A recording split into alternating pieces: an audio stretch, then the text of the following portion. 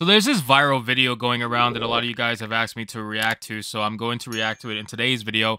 But it has to do with some woman essentially complaining about the state of economics right now within the country and how she doesn't understand how anybody is living and that her and her husband together make about $120,000 a year and that that should be enough for them to do whatever the hell they want while also being able to live to the point where they're not paycheck uh, paycheck to paycheck but the funny thing is, it, it, really isn't that much money, especially depends on where you live. Because if you live in any kind of metro area, $120,000 a year is barely making it, honestly, at that point. Uh, which is why, especially, it's especially worse if that's your combined salary. So that means if one of you lose your job, it's going to get even worse for you. But we're going to pull up this particular video. This one comes to us from Finance Els on Twitter, uh, but it is from uh, some lady called Belle Rebel on TikTok. I'm not really sure what the deal is with that. But let's play the video. I can't play it in its entirety because it's just too damn long. So we're gonna let her speak a little bit and break it down, kind of like we did in uh in our last video about the non-binary teacher activist. So let's get into it. Y'all, tell me why. Just why am I still living paycheck to paycheck? Why? Why? Why? My job. Well, before before I even know you, it's probably because you can't budget.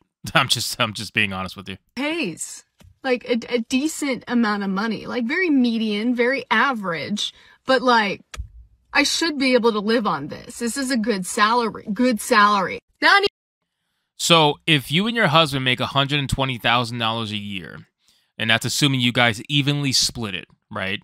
It might not be the case, but let's just assume you're evenly splitting it. Um, that's not enough. You know, $60,000 a year per person is not what I would call a good salary.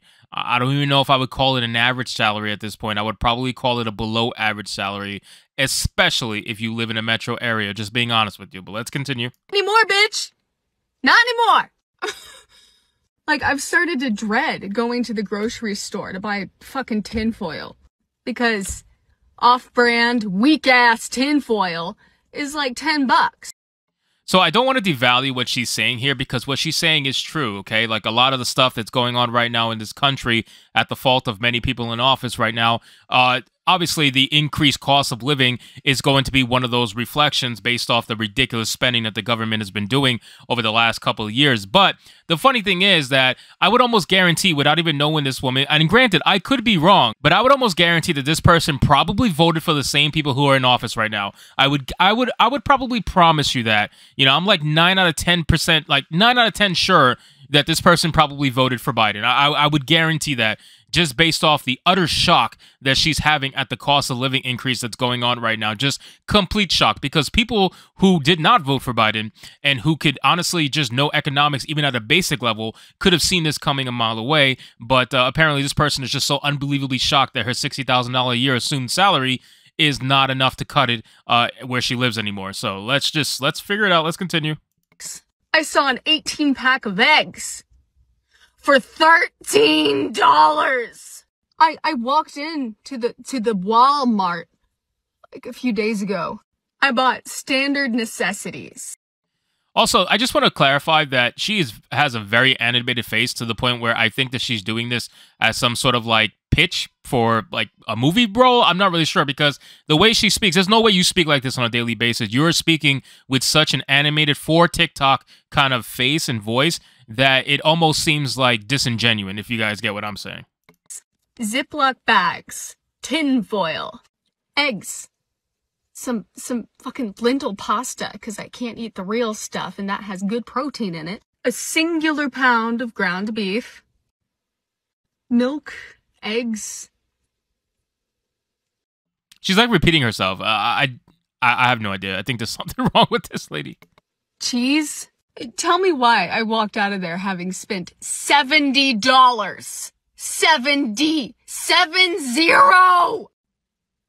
My partner and I make $120,000 combined.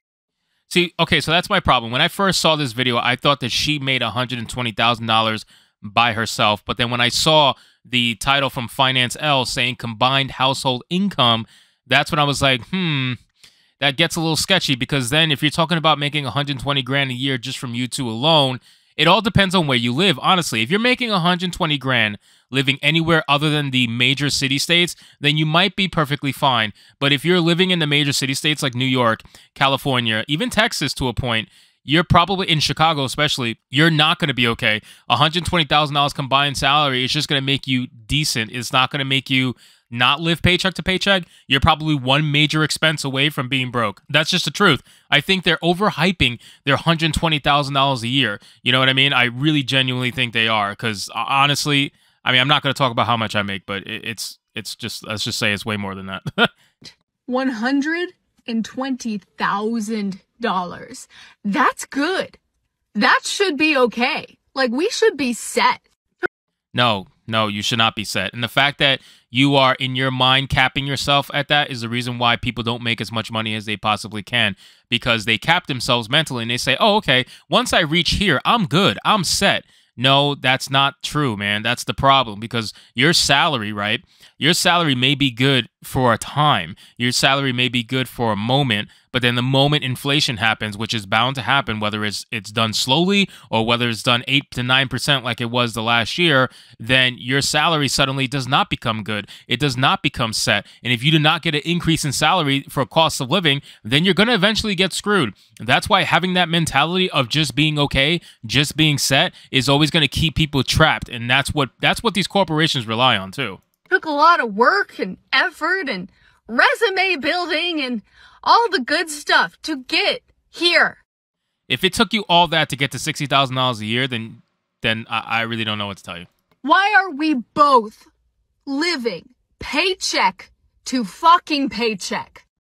Also, just as a little side note in this video, do you notice how perfect her eyebrows are, her makeup, her her jewelry, her hair, how like just immaculate her face looks? Those eyebrows that clearly are not real yeah, I, I, I definitely think you have enough money to splurge a little bit, which is fine. You should splurge on yourself, but don't sit there pretending like you're the fucking homeless in California.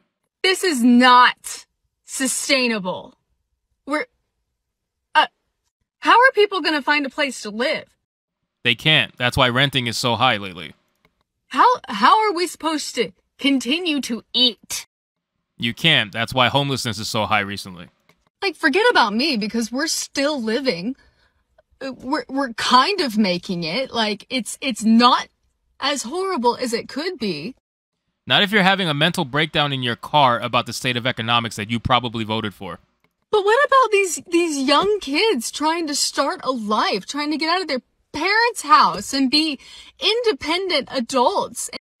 Those young kids are currently being indoctrinated by the school system to become socialists, so they really don't care about A, moving out of their parents' house, or B, uh, trying to make enough money to sustain themselves in the future because they've been completely taken over by the liberal hive mind. I'm just saying, uh, just saying. And, and they can't.